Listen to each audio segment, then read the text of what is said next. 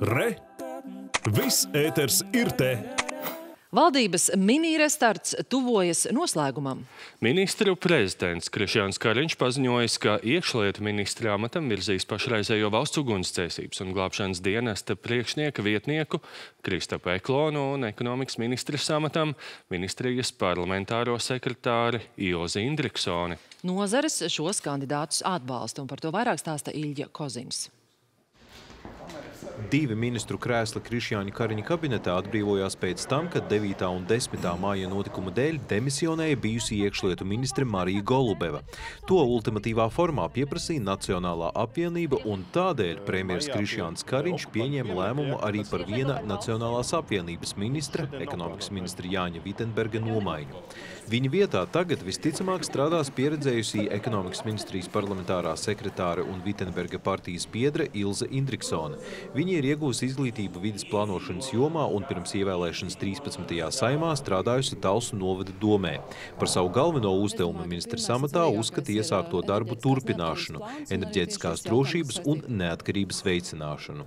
Es eh, nejūtos, ka šis ir labākais veids, kā ieņemt ministra amatu. Protams, jo vislabprātāk es būtu turpinājusi darboties ministra birojā. Bet, protams, šajā situācijā es arī apzinos, cik nozīmīgi ir darbu turpināt, tāpēc es ar pilnu atbildību uzņemos šo amatu un, un šos pienākumus un ceru arī uz uh, ministra, bijušā ministra, nu jau Jāņa Vitenberga atbalstu un līdzdarbību ministrijas ikdienas darbos. Nozares organizācijas Indriksona kopumā atbalsta. Līdz šim sadarbība ir bijusi ļoti mm, konstruktīva, pragmatiska un uh, Un, un uh, es domāju, labi. Līdz ar to tās cerības arī, arī, arī uz nākotni līdzīgas. Līdzšinējo sadarbību ar Ilzi Indriksonu atzinīgi novērtē arī Latvijas darba devēja konfederācijas prezidents Andris Bite.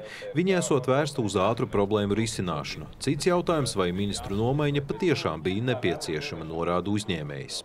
Manuprāt, tas bija bērnišķīgs spēles šobrīd, eh, kas traucēja teiksim, vismaz divas nedēļas, kā minimums, vai trīs izņēma ārā no mūsu plāniem un, un procesiem, ko mēs bijām ar ministriju kopā uzsākuši. Nu, man ir neizprotams spēles. Nu, diemžēl mums jāspēlē pēc, vai vismaz jāpiedalās šajā procesā. Iekšlietu ministra amatā virzītais Kristaps Eklons nāk no profesionālās vides. Valsts ugunsdzēsības un glābšanas dienestā viņš jau ir vairāk nekā 30 gadus. Izaudzis no ierindnieka līdz ģenerālim. Pat laban viņš ir dienesta priekšnieka vietnieks. Tas viss nāca ļoti negaidīti. Praktiski sestdienas vakarā tika uzrunāts. Saliekoties ar privātajiem un profesionālajiem aspektiem, es saprotu, ka man vienkārši ir jāpieņem šis izaicinājums un uh, jāiet mēģināt darīt, kas manos spēkos iekšējās drošības labad. Apstiprināšanas gadījumā Eklons plāno turpināt vairākas iesāktās lietas. Viņu personīgi ļoti uztrauc civilās aizsardzības joma un valsts gatavība liela mēroga krīzēm. Nozares arotbiedrībā šādu kandidātu ir apmierināti.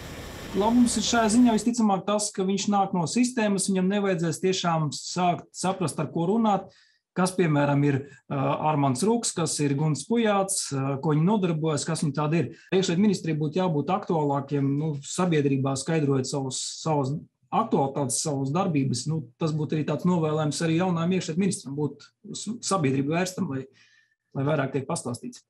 Gaidāms, ka par Eklonu un Indriksonas apstiprināšanu ministru amatos lems Saima jau šo ceturtdienu. Ilija Koziņcingus Graudiņš, Latvijas televīzija.